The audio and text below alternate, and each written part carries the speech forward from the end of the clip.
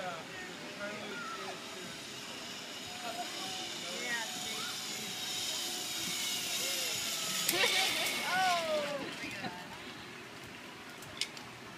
Watch out for that tree!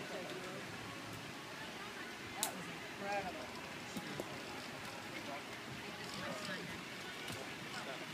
How was it, Ariella? It was fun.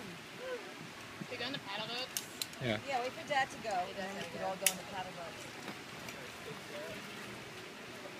boat.